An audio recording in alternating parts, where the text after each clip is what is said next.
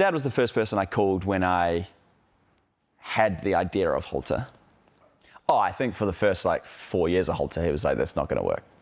I think even when it was kind of working on his farm, he was like, "It's not going to work." for sure.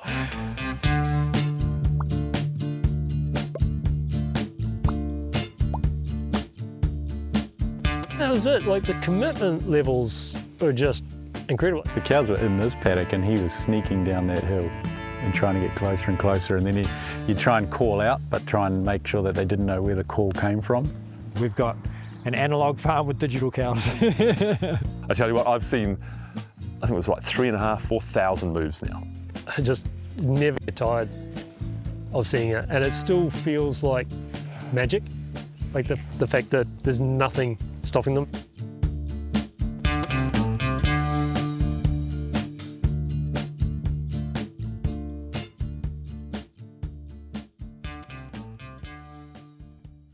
I was ploughing actually at the time, and this was like a shitty old plough, like a like a four row plough, so not the fastest thing in the world, and we it kept breaking it. That was also why it was taking so long, and it'd be like 3 a.m. by myself, picking up like a piece of the plough with the chain and taking it back to the workshop to like weld this like pretty much try and jimmy this thing back together to like just finish the job. There was just endless. You're always trying to like solve problems. Farmers are so good at solving problems, like, and just making do with what they got. And I remember finishing that like 30, 34, 36 hour stint, going home. Yeah, like eight hours later, I was back in a different tractor on our other place. Not doing a 36 hour stint, but doing like another 12 hour shift. And it's, I used to love it. That was good. It's like, you know, when you're a kid, that's fun. If you know how like visceral the pain is or how like important that problem is to solve. Coming up with the solution is more exciting because you, you, you have a feeling of like what it's worth. Some of my friends at uni that were talking about this like crazy company trying to launch rockets in new zealand. And as an engineer that's obviously pretty exciting. Like okay rockets that seems cool. And so i put on a suit. It's totally not the right thing to do but i put on a suit and just knocked on the front door. Someone's like, how can I help you? I'm like, oh, I want a job. He asked me like, okay, and are you, do you like to work hard? And I've obviously been doing like 100 hour weeks on farm. And I was like, yep. I just totally didn't know how to, how to interview and uh, didn't get the job. Then Peter Beck came to speak at university. There was free pizza, which was a draw card, and then I went along to get a job. So it was my third time been like, all right, I'm going to get a job at Rocket Lab. And I like cornered Pete afterwards. And ultimately, that's how I got my job at Rocket Lab. The thing that really surprised me was this notion that this company existed to chase a mission that was crazy. Like, just, even half the people there were like, this is crazy.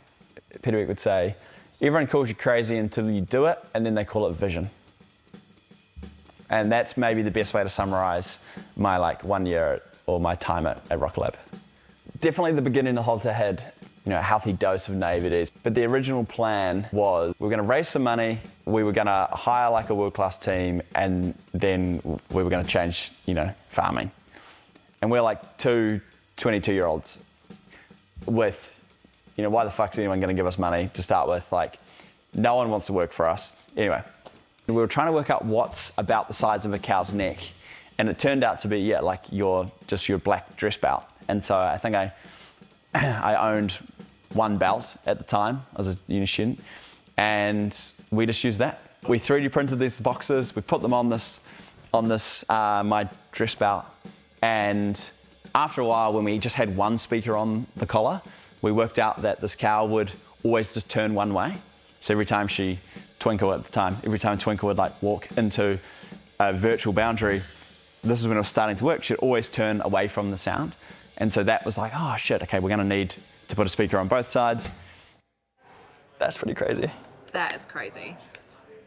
It's probably some of our some of our best engineering.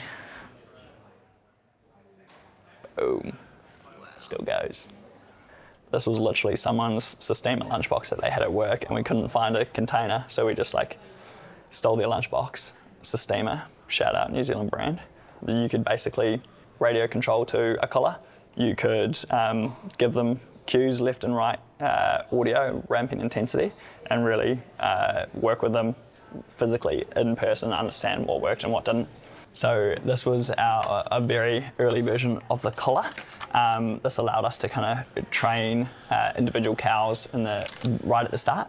Um, it was a little bit flimsy, very thin walls. I think you can see like pretty damaged and broken here. Um, and so we tried to kind of make a little bit of a gruntier collar. We built 15 of these and only four, I think, worked at any given time on a cow. So we decided to kind of move to the production series of collars. Um, we made about 50 of these, super expensive, about $1,000 each. Uh, and this one was a complete disaster. They would literally snap in half. And ultimately, we took these all off of after about two weeks and moved on um, to hopefully something that would work, which was this Production 2 collar, P2.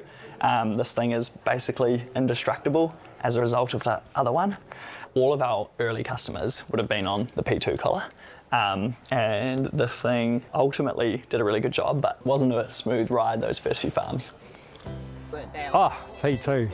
P2 was a four solar panels, this monstrosity thing that was a total of six kilos.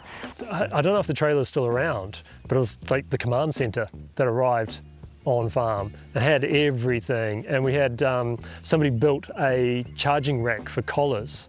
So anything that didn't charge fully with the solar, we could swap them out, put it onto this one that had charged. Because they were here early in the morning. There must have been other farms where they would have almost stayed the night out there probably, especially if it was remote-ish. Did happen? I'm pretty sure it would have. Yeah. Shit, sometimes the towers would go down and I'd have Aaron, Aaron would ring me at two in the morning and he'd be, I'm just coming out, I'm just gonna, we've had a tower go down, you won't be able to get the cows out in the morning. And, you know, he'd come out at two in the morning and fix it up, recharge it or whatever the problem was. Anything that wasn't quite going right, they were there in a heartbeat to try and fix it because you couldn't have any downtime. We had to just keep going. We knew that as one of the early farmers that we would be involved with uh, some of the developmental phase, which is the nice way of saying it, ship breaking and failing and that. Um, but we were all up for it, um, as were the other earlier farmers as well. The list would just be so long, like of everything that didn't work and everything that broke. And I think if we knew uh, what we know now when we first started out, uh, I'm not sure we would have been quite so optimistic about it. Looking back, they were total, those early customers were like total heroes. When you give a farmer a tool, they always work out like however many different ways they can use that tool to, to do a job. And yeah, Halter was no different at that point. They were using it in like all these ways we'd never really dreamed of. Um, and giving us, because it's a core to the operation, they were always giving us feedback. You built it in like a day eh? to be able to set the time that the cows leave the paddock. So you could set it the night before and then you could just wake up and the cows had left themselves. You didn't have to command them at the time. And then like, yeah, two days later, it was, oh, there you go, there's that feature. That's the amazing thing about Halter is because everything can be updated over um, software updates, things can happen really fast. Yeah, I think if you were to count every single revision, major, minor, um, of all the electronics, we'd, and all the various kind of versions within that, I think we'd be sitting at hundreds of, of different iterations of, of collar. We got to our fourth generation of hardware, a radical redesign from the ground up. This thing is 75% less power, um, 75% less weight. Yeah, this uh, this collar probably changed everything for Halter. Yeah, that, that was the big the big unlock. That was like the the f- final moment, the last piece of the puzzle for Halter to really really take off. And this thing came along, which was just extraordinary. I've got, I've got a saying with my wife, she doesn't like it, which is beauty is function. There is something just, so, and if it's in black, even better. There was talk of an LED and it was kind of like, yeah, yeah, that'd be awesome. There's a lot of excitement around the product, and probably I think a lot of people just wanted to be on the journey. They, a lot of farmers were like, hey, this is a company trying to do stuff in an industry that, that matters, and we want to be part of that. It was a crazy like first year of, of scaling for sure. The more farms we could bring on, the better for the product. That was a crazy journey in itself. We were scaling so like incredibly fast that we couldn't hire fast enough. We couldn't scale our like processes and systems fast enough. You go from doing one farm every three months to like, you know, one every three weeks, one every three days, to one a day, three a day, like, and so a lot of things in that system break. Yeah, there are definitely points where you've got a new starter every day. Um, there have been points where there's been more new people than there was old people. That's super scary. Probably spend as much time thinking about culture as we do thinking about our product, and that's intentional. There's sometimes when the answer is just raw hard work. It is just, it's a question of like, how many hours can you do? You know, when you're calibrating collars, it's just hours of effort. Um, a lot of problems are like that, and so you need to be able to do that. We've never had the luxury of hiring like a person per problem. like you'd need thousands of people, and same as farming. Um, obviously, for people to buy Halter in the beginning, they didn't believe it worked, so they needed to see it. We're like, okay, how are we gonna, you know, show them? And so we found we went and got like an old calf shed, um, literally, you know, wood chip on the floor, and and it's probably like 100 years old. Like, okay, we'll convert this into some type of shed that we can like, you know, make a coffee in and, and actually like sit around a table. And so drag the whole team down to farm, call it a working bee. I think it was a two day thing as well. Everyone just getting random jobs they've never done before. Yeah, people on the roof. I think it was like a software engineer and yeah, maybe someone from finance, like patching holes with rivets. We were interviewing somebody and at the end of the interview we said, do you know how to use an angle grinder? And he was like, yep. And then um, like, perfect. And we gave him the angle grinder. This was like nine o'clock at night. Cool, can you just hang around for a bit? We've got to put this window in. And uh, so uh, an interview candidate uh, helped us install a window. when you look at the fundamentals of what the product we built in the first place, it does apply to a lot of markets and a lot of different types of farming. And so, um, yeah, that impact, now we are managing to scale that impact even broader. Um, and again, a, that's a really important part of the mission is if we can't, we need to get to scale to have impact on an industry. You can't be positive for an industry if, it's, if you're only on like a handful of farms. The success of Halter has got Kiwi ingenuity written all over it. Okay, and that is not because we have anything super smart or super special. It's actually something very simple and basic and humble about it, that approach to it. Um, there, you go to Silicon Valley, you'll find thousand times the brains and everything else. But when it comes to a gnarly, dogged push through these things that just seem impossible, we as farmers know exactly what that feels like. We'll have days where historically I would lose animals. The budget's going out of hand, the banker might be giving you a hard time, all of those things compile on. We don't even think about the word failure. We just say things happen, farming happens. Yeah. We, we have a saying on the farm here that we don't have problems, we just have farming. Do you think he's impressed yet? Um,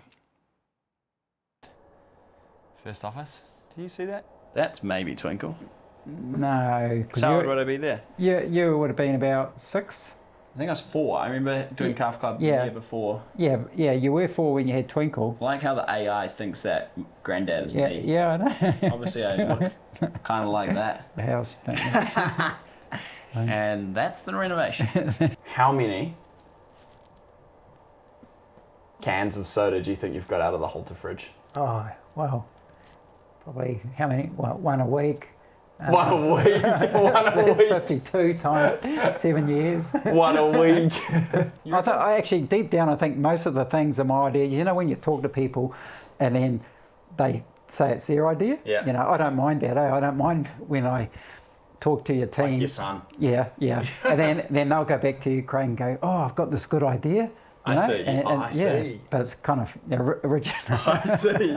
it's actually a, a very, very important trait where you can seed an idea to someone and they don't realise you've given them the idea and then they take it I see. that's it's that's quite a good skill to have where you can um, and so Do you it's reckon like that happened with Halter? yeah I think